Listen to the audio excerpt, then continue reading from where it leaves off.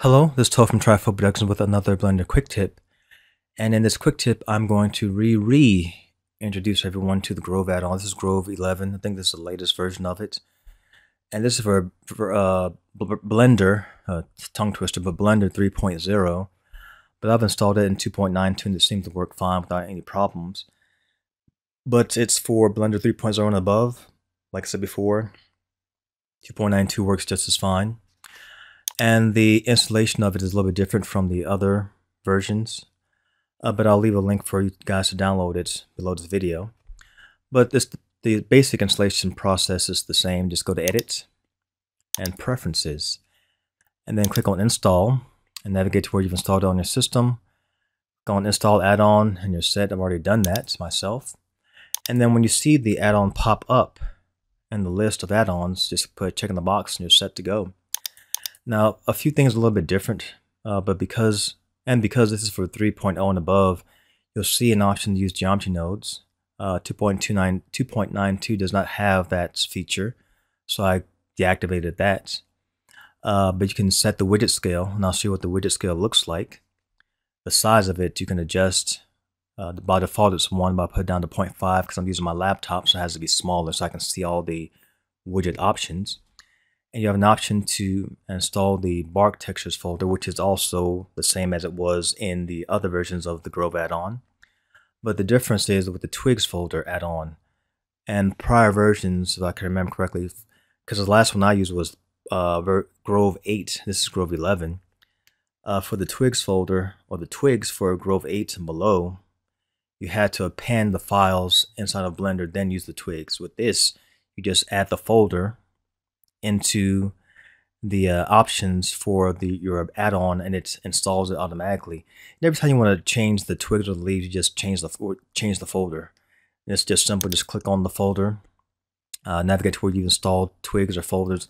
Because I'm using the twigs and the twigs and the bark from uh, Grove 8 to use in this version of Grove 11, and it works fine. Just click on um, your folder for example, click on your pin butch twig, accept, accept, and then that's it. And now those twigs are ready to be used inside of Blender and the Grove add-on. So let's close this. I'm just I'm I'm just gonna showcase some aspects of the add-on. I'm not gonna go through the whole thing, just highlights of the differences of it between this one and the older versions. So we're going to delete this cube I'm going to left click on our toolbar there to pop up our menu. And because it's been recently installed, it's at the bottom here. So left click on that and add Grove. If you zoom in, you'll see a little twig there that shows that it's activated. And to add the twigs, you can uh, choose a preset for your tree. It's the same amount of uh, tree presets in the older versions, which is fine. But we're going to stick with Ash. And then we're going to click on this drop down uh, option here. We're going to click on, let me see, European Beech Summer, and it adds those leaves automatically to the list.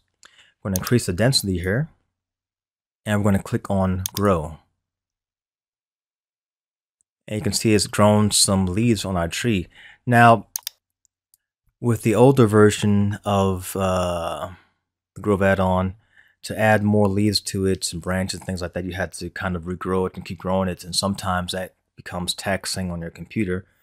With this version, it's completely different. Way different. It's a whole lot better, a whole lot more intuitive, a whole lot easier. So to add more branches and leaves to your tree, just click on draw. And then it comes up with uh, a different setup. You left click on drag on any branch and it starts adding branches and starts adding leaves to your tree, which is cool. Now you'll see this cog here, which is which is what I was referring to, this widget, uh, which I was referring to at the beginning of the tutorial. And with this, you can change your view. You'll see this little guy right here. And that's to reference how tall your tree is compared to the height of a human being. So this is a little bit taller than a person, which is a good reference. And you can just still kind of pivot around, left click and drag, add more branches, more leaves to make your tree fuller. And that, that's a, a helpful feature for the add-on. And once you're satisfied with the way your tree looks, just click on this little icon there that closes that uh, widget out. And then you have your tree. Another feature I'd want to showcase for this is the pruning. Now, the other versions of the Grove add-on had pruning available, but from my own experience, when I, whenever I've pruned a tree in those older versions, for some strange reason, if I were to cut here, it would cut off this part, but then you'd see other branches just just appear for no reason off the side of it, which I didn't understand why that was happening. This is a lot better, a lot cleaner. So let's click on prune, left click on that, left click and drag across a branch, and it chops it right off. A nice clean cut right there also, chops it off. Here also, once again, this is this widget, so you can view it from different angles to see how it looks. Left click and drag around so you can get to different views of your tree. Once you're satisfied with your results, left click on that close option and that closes it out. Another feature that's pretty helpful and important is the record feature, which is right here, because it records the growth of a tree. Now, before you use this, you would think that you just press restart. You can start again, adding, um, causing the tree to grow, and press record and it causes it to grow, but it doesn't work like that for some reason. It's better that you open up a new file uh, to start new, which is what we're going to do to avoid any kind of issues with the record aspect not working. So left click on file, new, general, don't save. Let's get rid of this cube again and go back to our add-on. Add Grove. Keep all of our options the same as they were. Beech Summer. Increase the density. And then now, what you want to do is click on record first. There are options here at the bottom, but we won't we won't uh, deal with that right now. We just want to I just want to show you the features of what the record can do. Let's pull this up so we can see the timeline.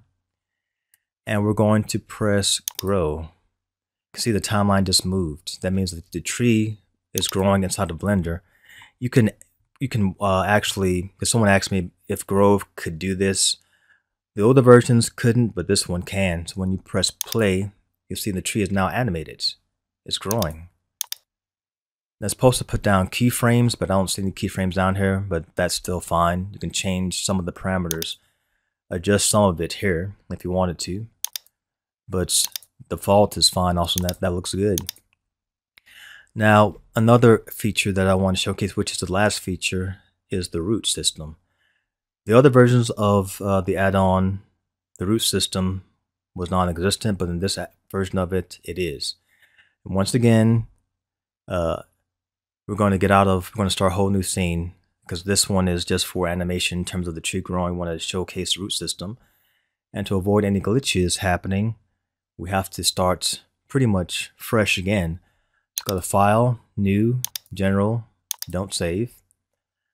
Delete our cube again. Go to our add-on, Add Grove. Just keep the defaults as they are. Beech Summer, increase the density, grow. Now we have our tree there and we'll scroll down. Now it says roots, so just left click on that and the root system comes up. And we have our parameters here. Now it kind of goes up higher, uh, so we can't see the ones at the top. And I've tr I've tried to left click and drag, tried to kind of scroll so I can see more of the options, but for some reason it doesn't do that. With this, I'm doing this on my laptop, so the screen's a little bit smaller.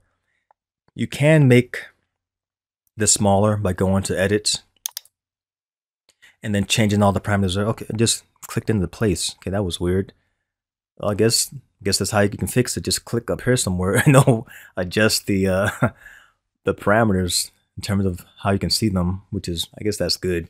But you can click on a cog here to change your root system. That's the number of main roots.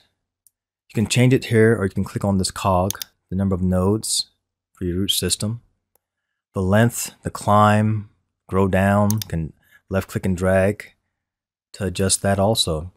Do that with all these parameters here. Once you're satisfied with the way your root system looks, click on close, then you're done.